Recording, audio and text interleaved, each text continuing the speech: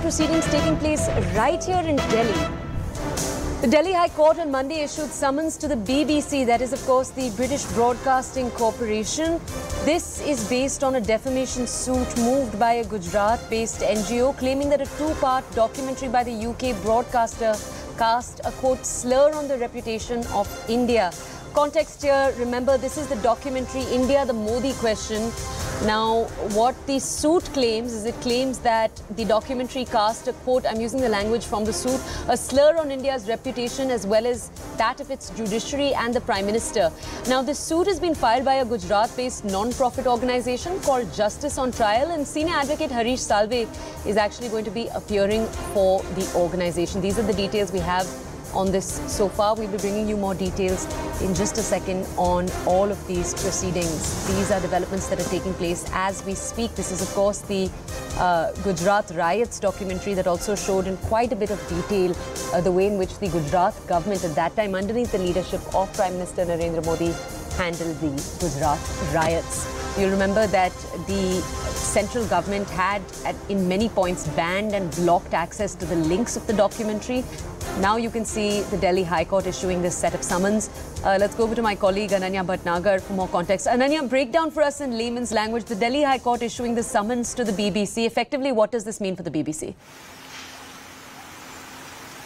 Well, uh, definitely it will have to come before the court and now respond. The, the British Broadcasting Corporation or the BBC will now have to come and respond before the Delhi High Court. Now remember that uh, in, in Rohini Court as well, there is a defamation case that has been filed uh, uh against the, uh, the, the British Broadcasting Corporation alleging that, you know, this is uh, tarnished the image of the Prime Minister and also of the country worldwide. And now a similar case coming before in fact, the Supreme Court of India senior advocate, uh, before the Delhi High Court, I'm sorry, and senior advocate Harish Salve appeared for uh, this NGO petitioner who had knocked the doors of the Supreme Court, alleging that, you know, uh, this two-part documentary is casting aspersions on the judiciary of the country. Because remember that uh, it was the Supreme Court that had given uh, a clean chit. And remember, not uh, one time, but twice, uh, the Supreme Court also recently delivered, a three-judge bench had delivered a judgment last year with regards to this whole fiasco over the, and in fact had said that there was a clean chit that was given to the Gujarat government and they were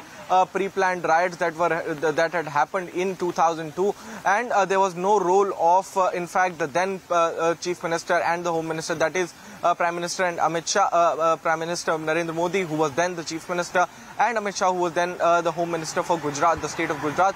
And it was said that there was no kind of a role of uh, uh, uh, malafide that was on the part of the Gujarat government. And it was the Gujarat government in fact controlled that particular situation. However, certain people like Teesta Setalvad were the people who had actually pro propagated a propaganda in, in this particular regard and were tarnishing the image of the Gujarat government. And it was all a pre-planned uh, conspiracy. But at the same point of time now, the BBC will have to come and respond before the Delhi High Court. Now, what would the BBC be saying is something that is a matter of fact and we'll get to know when the BBC actually files its reply before the Delhi High Court. Uh, Ananya, before we carry on, can you also tell us about the kind of action uh, the BBC has seen from central agencies in the last few days?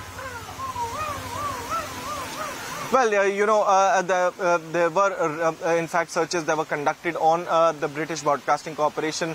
The, their accounts are being seen by the central agencies, including the Income Tax Department. And in fact, a survey was also carried out by the IT department on, in fact, the BBC. We were also hearing that, in fact, the Enforcement Director too could jump into this particular matter. However, uh, there is no uh, no particular confirmation on that, and that's the reason why, in fact, uh, you know, we'll have to wait for the central agencies to also act upon it. and but IT surveys were actually carried out on the British Broadcasting Corporation. But what happens next is something that only can, time can tell. Okay, just explain to us, uh, Ananya, the British Broadcasting Corporation is obviously a British organization. Just explain to our audiences the legal domain India has over the BBC as it functions in India? What is the action uh, the country can take? What is the action the judiciary can take? Just explain to us that ambit, please. Well, you know, uh, this uh, BBC is an organization based in uh, the the United Kingdoms and uh, in fact is is having operations in the country.